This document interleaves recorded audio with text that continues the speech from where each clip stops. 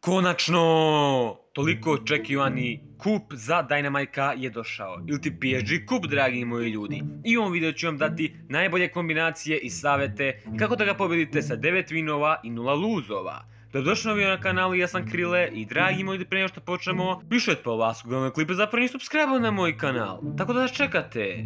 Ostavite like, sube su besplatni, a i povešću postanete dobri ljudi. Tako da, dragi moji ljudi, neću više da vas smaram, krećemo odmah. Počinjemo dragi moji ljudi, znači ovo je specijalna vrsta Championshipa ili ti kup u kojem će se igrati samo Brawl Ball i to tri različite mape. Super Stadium, Center Stage i Clean Shot. Tako da, dragi moji ljudi, odmah idemo na te tri mape i najbolje kombinacije za njih. I tri najbolja brolera za Super Stadium su Stu, Nita i Jessie. Stu je i dalje veoma dobar zbog toga što njegov super dopunjava samo sa jednim šatom, tako da lagano možete bežati ili davati golove kako god hoćete. Jesse je long range brawler, tako da ono, može da gađa sve protivnike, tenkove i ostale napadače sa jedne velike daljine, a Nita je donekle napadač, donekle zaštitnik, koji kada stoji medveda i aktivira gadget štit, ne može niko ništa.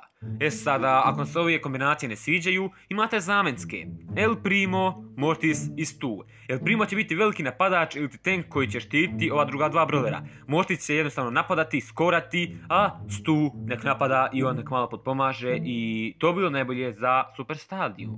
Za Center Stage su najbolji Brock, Stu i Mortis. Stu je jednostavno, bukvalno, ali bukvalno za svaku mapu Brawl Ballu dobar, tako da, ono, njega ne moram da objašnjam što trebate da radite. Što se tiče Mortisa, on također treba jednostavno da hoda, trči, trči, trči, trči što brže atekom i da tako puca loptu, da što pre skora da dođe do gola, a što se tiče Broka, on treba da štiti Mortisa da ne dođe do nekog napada na njega. Jer ako dođe, ako ubije Mortisa, Brok i sami ne mogu skorati go, tako da morate čuvati Mortisa pod hitno. A rezervne kombinacije ili druga kombinacija za ovu mapu su Mr. P, Tara i Rosa. Rosa je tank brawler, tako da ono, ona treba da bude štit za ova dva brawlera. Mr. P je donekle neki napadač, tako da bi za njega valjalo da se odaljuje i da napada, a Tara je brawler koji valjao da uzme malo loptu u svoje ruke i da tako što preskora, jer ova dva brawlera su samo donekle štit za nju.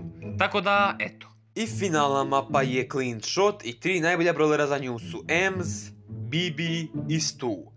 Bibi je brawler koji će se kempati sa svojim štitom u ovom bašu i tako donekle i štititi i napadati u isto vreme. Stu je brawler koji će veoma jako napadati i ispaliti svoj gadget također za ubrzavanje i davati sve od sebe da što više prijeđu na protivničku stranu. A Ems će biti brawler koji će također da napada i da se smenjuje sa Bibi u dodavanju lopte da pokušaju dati go što brže mogu. A ako vam svoje kombinacije ne sviđaju, rezervne su Jackie, Jessie i Stu. Jackie je veoma OP brawler koji će se kempati ovom bašu i napadati protivnike. Jessie je brawler koji ima long range, tako da isto će također napadati sa velike daljine i davati sve od sebe da pređe na protivničku stranu. A Stu je brawler koji će pokušavati da da go i da se to više približava golu uz pomoć svog supera. Tako da, dragi moji ljudi, to bi bila sve kombinacije i sve mape u ovom PSG kupu. Želim vam jednu veliku sreću da pobedite i dobijete ovaj skin, pošto košta 150 gemova, mnogo je skup. Ja se nadam da se ovaj video svideo i to bi bilo to za ovaj video. Tako da, dragi moji kao bilo sve za ovaj video, ja se nadam se on s videom bio zanimljiv koji jeste. Ostale lepi like, zukate se na kanal i uključite zvonce ne pusti jedan naredni video. Tako da, to bilo sve za ovaj video, a mi se vidimo nekim od narednih klipova. Pozdrav dragi moji ljudi.